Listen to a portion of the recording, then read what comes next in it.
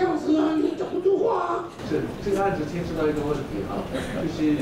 他提供这个劳务，然后要支援这个特定的后勤，涉及这个呃会险。选战在即，抓会和假新闻，各单位绷紧神经。一大早，立法院警政署副署长邱风光、国安局副局长陈文凡、调查局副局长林玲兰依序上台接受质询。高雄选情白热化，维安调派成为重点。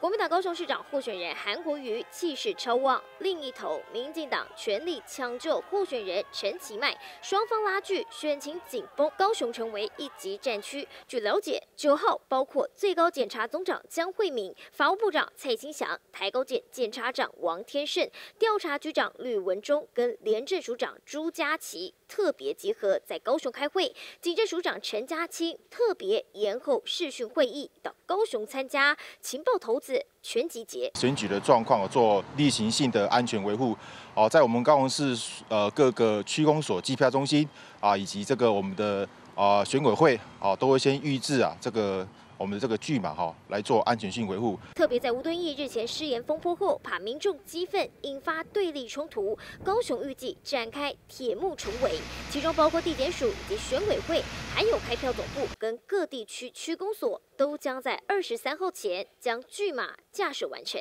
高雄选情激烈，情报、警政各级单位做好备战，全力避免冲突一触即发。记者陈时令、王主 S N 小组高雄、台北采访报道。